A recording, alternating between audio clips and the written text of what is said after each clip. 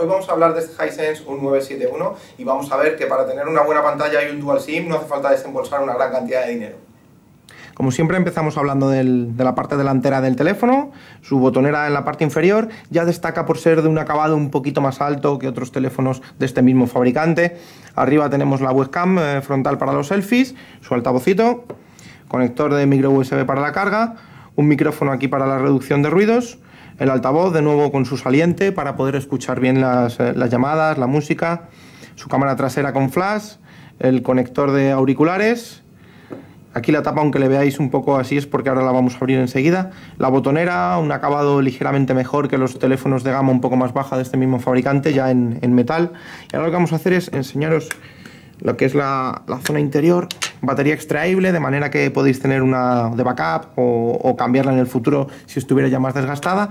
Podéis ver la Dual SIM. Tiene también capacidad para micro SD, de manera que podáis ampliar la memoria eh, de una forma muy rápida, barata y sobre todo sencilla. Entonces, Vamos a encenderlo para que lo veáis. La pantalla son 5 pulgadas HD, eh, se ve bastante bien, la verdad.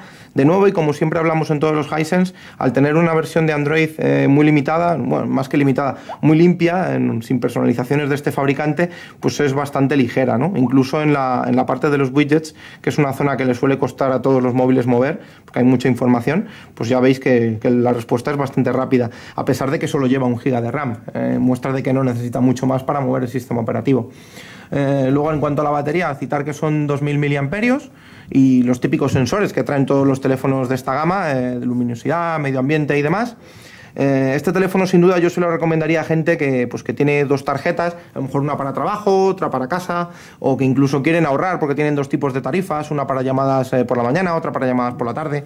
Y pues este Hisense nos va a defraudar, porque como ya veis, trae todo lo que cualquier teléfono puede, puede necesitar para el día a día, su trasera de 8 megapíxeles para hacer cámaras, perdonad, para hacer fotos ya medianamente decentes y, bueno, pues que si queréis hacer una inversión no muy elevada y tener un teléfono con el que navegar y utilizarlo como GPS e incluso ver películas, pues este es vuestro terminal.